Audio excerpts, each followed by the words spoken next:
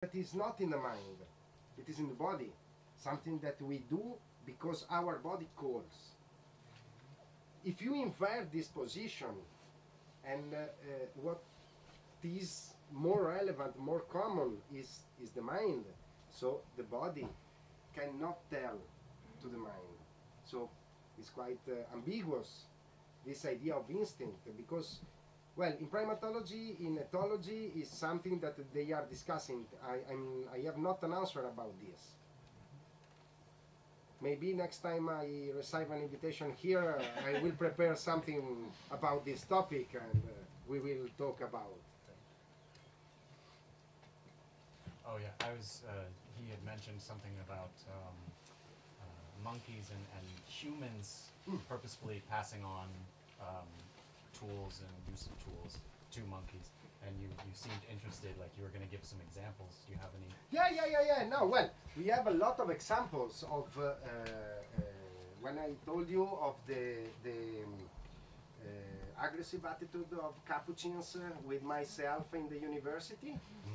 It was uh, uh, clearly the occupation of a space, the appropriation of a space, uh, is think to be human, the university, but he was, uh, they were, they were living there.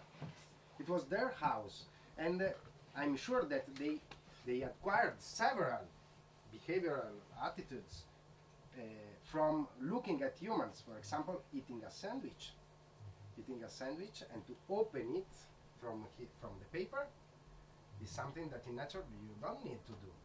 Difficult to find a sandwich in a tree, for example. And, and so the, to open a paper that is something that is apparently simple, simple, but it's not so uh, it's not so simple because you have to think that uh, it's something that you cannot eat and inside you can find something. And it's different from a seed because they are quite different, but they are able to do something to create to grow the seed.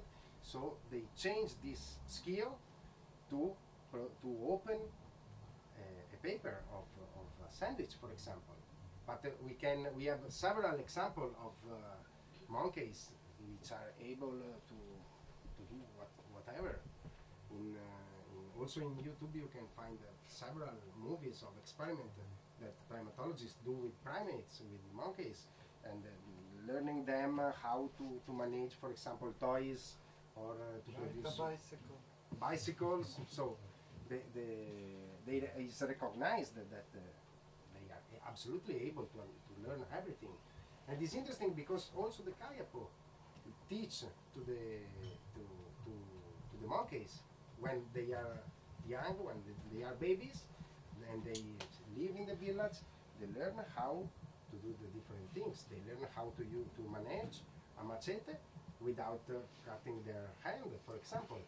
Do they do they eventually go back into the jungle? Now, they- when they are, when they grow up, uh, the Mebengokré send them to the Okay. jungle. But all the animals, when they have babies, uh, they, they take babies also from of jaguars, for example, of uh, tapir, of different uh, beings. But when they grow up, uh, they return, they must return to the jungle because they are not human. If they will stay there, they will take the danger of everybody becoming an animal. And so this is the, the main reason why in, um, in, in Amerindians, in the, in the lowland South America, uh, excluding the Andes, you, you had not a domestication of animals.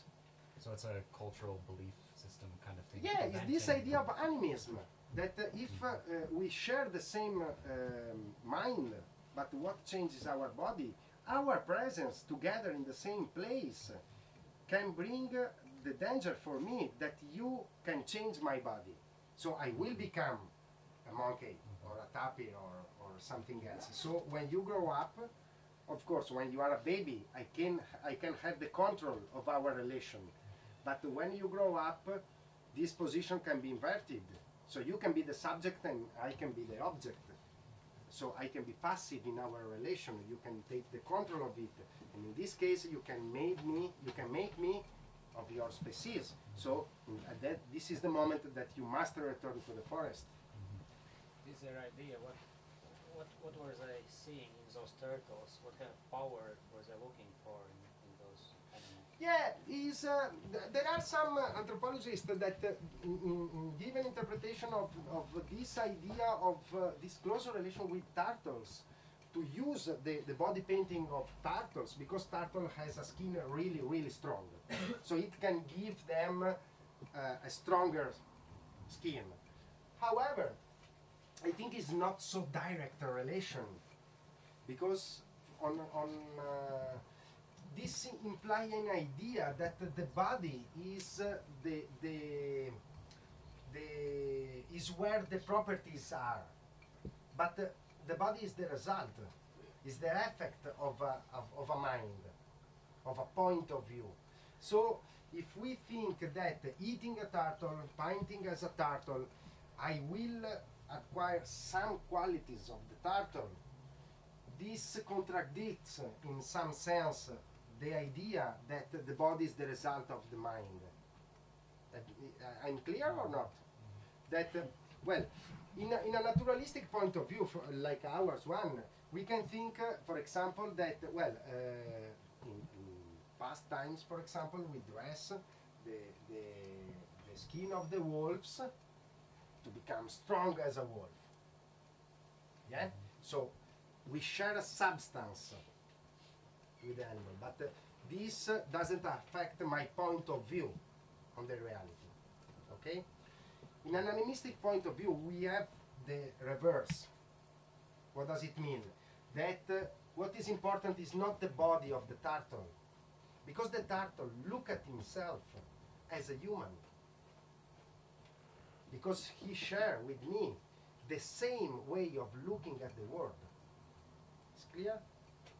What is common is not the body, and so the possibility to acquire the, the, the strongness of the, the wolf using his skin.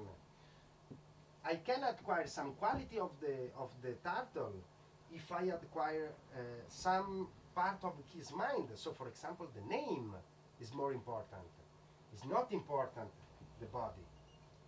So, is, uh, this is interesting because from where comes the name? The names always have uh, an animal origin in, in Amazon. Names are not something that human produce, but the shamans go to the, to the society of animals, sometimes among the, the monkeys, sometimes among the fishes, sometimes among the turtles, and they take from there names and they bring names.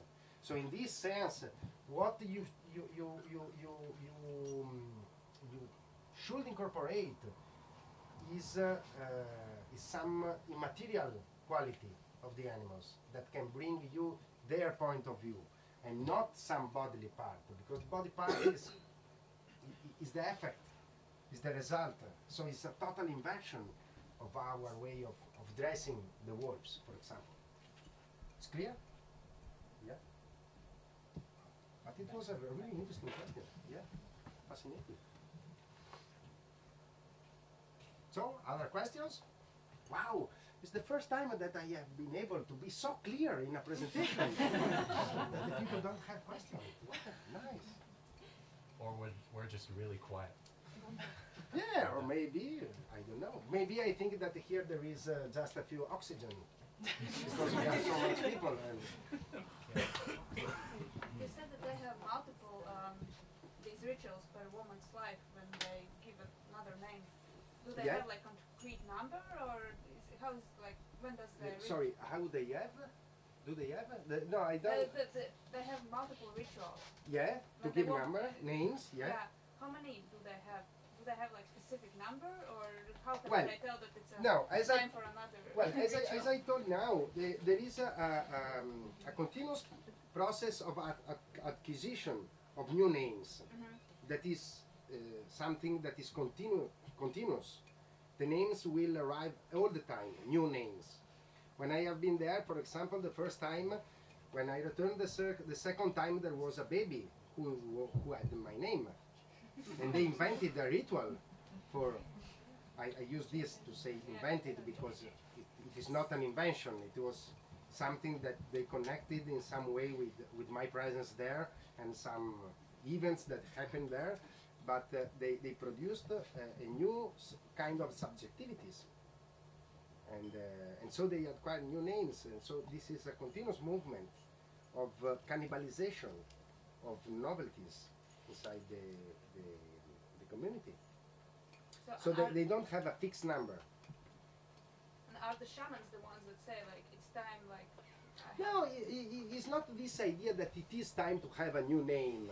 It happened that they go somewhere and uh, uh, they, they, uh, they, they learn some other names, some other rituals, and when they come back to the village, they share it with other people.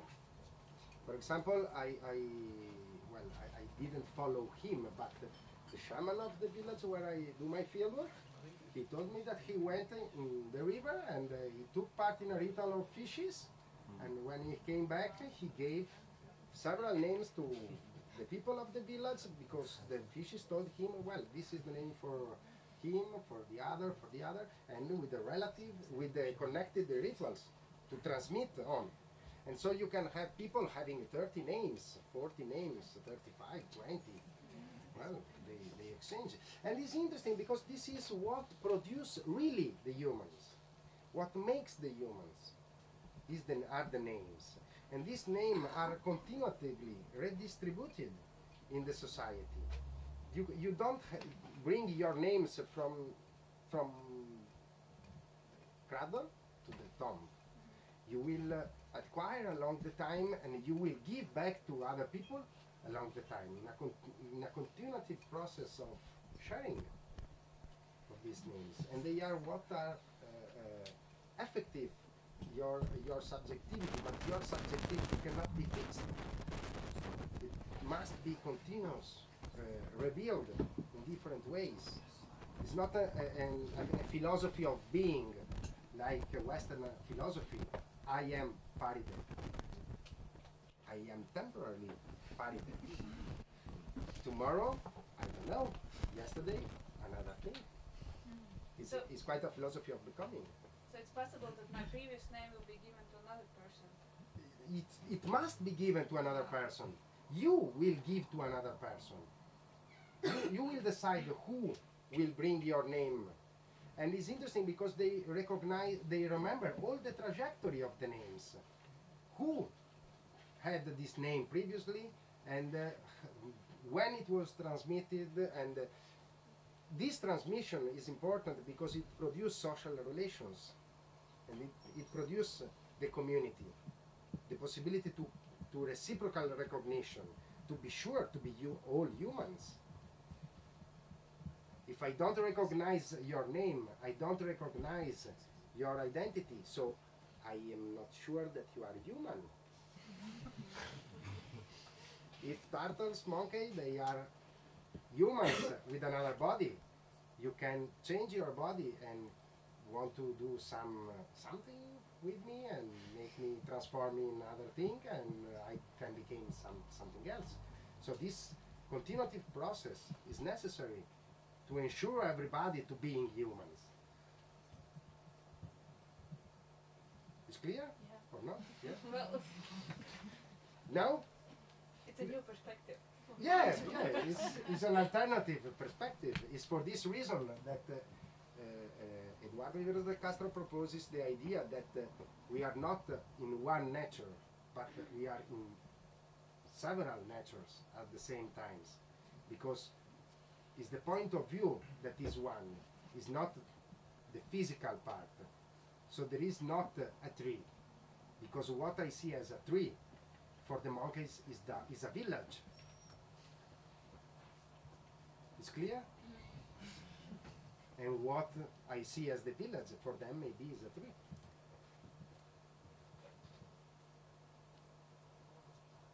More questions? From that side, some questions? You were unlucky for the pictures, but we can uh, restart again from the beginning if you want to see the, all the pictures. around this discussion, uh, somebody says something like, uh, "You, you name me, you deny me." You know? You name me. If you call my name, you deny me. Uh, sorry, uh, my English is not so good to know the term denying. Si me nombras, See? me niegas.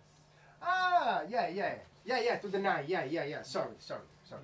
Yeah. Uh, well, and so See, and, and it have to be uh, like um, if you put a name, you will create something. You put a name, yeah, and you can cut all the possibilities that can be. If you put a name with the adjective, if you are Jose or Pedro, for example, yeah, like you said, uh, Pedro Jose is like that. And if you change this name or put other name, you can change all the, in a way, uh, adjective. yeah. It makes some sense. It makes absolutely some sense also in this kind of, of idea because, okay, I I must my name must be recognized by the others, but the others that I recognize as humans. If I receive the name, for example, by a tapir in a type in a tapir ritual, and with a tapir name, I will become a tapir. I cannot be I, I will not be able to come back and to to to become human again. So in this sense, it can have uh, um, uh, it, it, it is something similar. Like a faculty. Yeah, if we think in this possibility of interspecific communication among humans, you don't have this problem because it's important that someone that everybody recognize me as human for me to be sure to be human. If uh, uh, is an other species, the, the history, the mythical panorama of Amazonia is full of events of this uh, this uh, kind that uh, someone makes some um, have some illusion in the forest in the sense that uh, he looks at some animal in the form of human.